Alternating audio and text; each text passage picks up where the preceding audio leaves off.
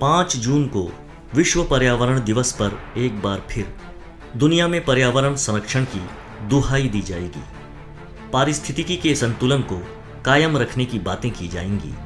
मनुष्य ने आधुनिक दौर में जो तौर तरीके अपनाए हैं, उनसे प्रकृति को नुकसान ही पहुँचा है और जीवन के आवश्यक संसाधन या तो नष्ट हुए हैं या प्रदूषित। जो प्रकृति हमें निरंतर देती है, उसके स्वास्थ्य की चिंता का अर्थ भी अपने सुख को बढ़ाना और खुद को संकट से दूर रखना है। हमारे ही देश में आदिवासी विपरीत परिस्थितियों में आधुनिक सभ्यता से दूर, प्रकृति की गोद में कठिन जीवन जीते हैं। इस कठिन दौर में रहने वालों के पास वनों में बिखरी पड़ी औषध संपदा का अकूत खजाना है, जिससे हम अनभिज्ञ हैं। पर्यावरण के असली रक्षक यही हैं, इसलिए सबसे बड़े लाभार्थी भी यही हैं। हमारे शरीर की प्रकृति लाखों साल के स्व परीक्षण से बनी है। अब प्लास्टिक, रसायनों, यंत्रों की खटपट और कैंसर जैसी लाइलाज बीमारियों से रूबरू होते हुए भी हम प्रकृति के संकेत समझ नहीं पा रहे हैं। प्रकृति की चिट्ठियाँ बहुत सरल भाषा में लिखी होती है, पर हमें उन्हें समझकर पालन करना कठिन लगता है, क्योंकि हम इंसानों को अपनी श्रेष्ठता का अभिमान है, जिसे हम विकास समझते हैं। वह ढलान है। पर्यावरण हमारे तन मन के मान का वस्त्र और कवच है। इसे उधेड़ते जाना, मानसिक नग्नता दिखाते हुए भयावह कष्टों को आमंत्रित करना ही है। नदियों को जहर बनने से और हवा को धुआँ बनने से बचाने में वनों के महत्व को हमें समझना होगा।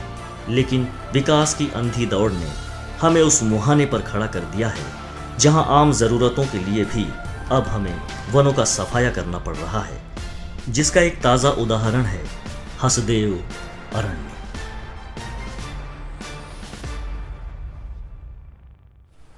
हसदेव अरण्य, एक लाख सत्तर हज़ार हेक्टेयर में फैला हुआ जंगल।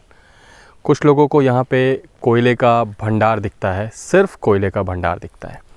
हसदेव का ना नाम पड़ा वहाँ बहने वाली हसदेव रिवर पे जो महानदी की सबसे बड़ी ट्रिब्यूटरी है। दोस्तों ये जंगल बहुत ख़ास है। सेंट्रल इंडिया में ये सबसे बड़ा अनडिस्टर्ब जंगल है जहाँ टीक और साल साल के घने जंगल हैं। ये हाथियों के लिए भी आ, उनका जाना पहचाना रास्ता रहा है हमेशा से। दोस्तों, बस इतना ही नहीं, हसदेव अरण्य में लगभग 300 से ज़्यादा प्रकार के जानवर पाए जाते हैं, जिसमें से कि कई ऐसे स्पीशीज़ हैं जो कि अभी एंडेंजर्ड है। एंडेंजर्ड फ्लोरा फोना जो थ्रेटेंड फोरा फ्लोरा और फोना भी पाए जाते हैं, जो कि काफ़ी खतरे में है। ये जो हसदेव अरण्य है, उनके लिए बहुत ही बेहतरीन घर है, लेकिन अब जो होने वाला है, ये बहुत ज़्यादा उनके लिए प्रभावित होगा। दोस्तों, हसदेव अरण्य में होने वाले माइनिंग की वजह से लगभग दो लाख पेड़ों को काटा जा रहा है, और इन पेड़ों के कटने से, कटने की वजह से जो एंडेंजर्ड स्पीशीज़ जो थ्रेटन स्पीशीज़ है, आगे जान के उन्हें एक्सटिंक होने का बहुत ज़्यादा एक खतरा बना हुआ है। दो लाख पेड़ों के कटने का क्या मतलब होता है, ये आप समझ सकते हैं एक पेड़ की कटाई को देख के। कोई सत्तर से अस्सी साल पुराना पेड़ अपने एनवायरनमेंट में क्या फ़र्क लेके आता है? कैसे वो प्रभावित करता है वहाँ की हवा को, वहाँ के ज़मीन को और वहाँ के पानी को? आप खुद समझ सकते हैं, हवा में जो बदलाव ये लेके आता है कार्बन डाइऑक्साइड की मात्रा को खींच के और ऑक्सीजन जो सप्लाई करता है मिट्टी को ये कैसे पकड़ के रखता है? ज़मीन के अंदर के पानी के लेवल को कैसे ये बना के रखता है? केवल एक पेड़। तो आप इससे अंदाज़ा लगाइए कि दो लाख पेड़ों के, कटने का क्या प्रभाव पड़ सकता है।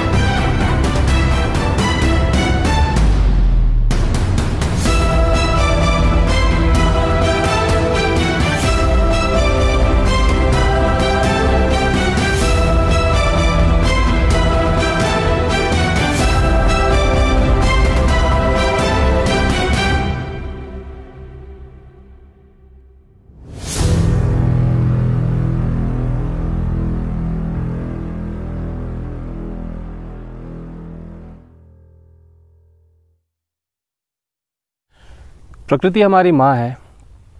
माँ जो भी अपने बच्चों को दे, दे देती है उसे लौटा पाना किसी भी बच्चे के लिए संभव नहीं है। लेकिन उसे लौटाने का प्रयास ना करना एक कपूत होने की पहली निशानी है और इंसान ने उस चीज़ को स्थापित किया है। अभी आपने देखा कि समस्याएँ क्या है लेकिन इन समस्याओं का समाधान ढूंढ के ना निकालना और उसको इम्प्लीमेंट ना करना हमें कपूत बना बनाता है। तो आइए देखते हैं इसके समाधान क्या है और इस समाधान पे बात करने के लिए मैं आमंत्रित कर, करना चाहूँगा अपने मित्र मनोज जी को। जंगलों से शहर तक और प्रकृति से संस्कृति तक का ये जो सफ़र हमने तय तय किया है या इंसानी सभ्यता ने तय तय किया है, इसने हमें आज जिस जगह पे लाके खड़ा किया है मनोज, इसके बाद आगे देख पाना हमारे लिए असंभव है कि आगे हमारे लिए कौन कौन सी चीज़ें इंतज़ार कर कर रही हैं। प्रकृति ने हमारे लिए कौन से सरप्राइजेस आगे छुपा के रखे हैं? क्योंकि जो हमने प्रकृति के साथ किया है ये तो नेचुरल सी चीज़ ही चीज़ है कि बैलेंस बनाने के लिए प्रकृति वो चीज़ चीज़ें हमें वापस ज़रूर करेगी। तो अभी आपने समस्याओं को देखा हम बात करने वाले हैं कि इनके उपाय इनके समाधान क्या हो सकते हैं। तो मैं मनोज जी आपसे सबसे पहले ये जानना चाह चाहूँगा कि इंसान ने जो इतना विनाश किया है इसको रिवर्स कर, करने का जो प्रोग्राम है, कार्यक्रम है, ये कहाँ से शुरू होना चाहिए?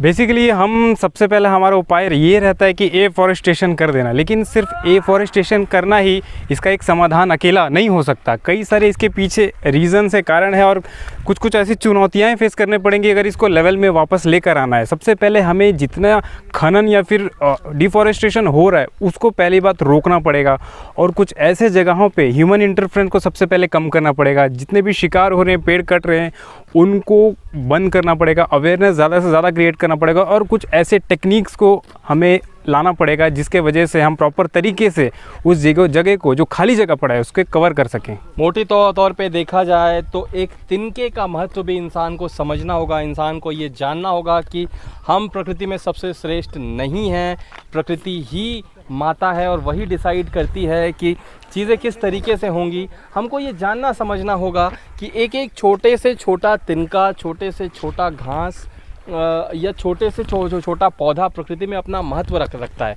जिस दिन हम इस बात को समझ लेंगे प्रकृति में बैलेंस बनाने के जो छोटे छोटे काम हैं वो हम करना शुरू कर कर लेंगे। मनोज जी ने अभी बताया कि एफॉरेस्टेशन जो है वो डिफॉरेस्टेशन का इलाज नहीं हो सकता।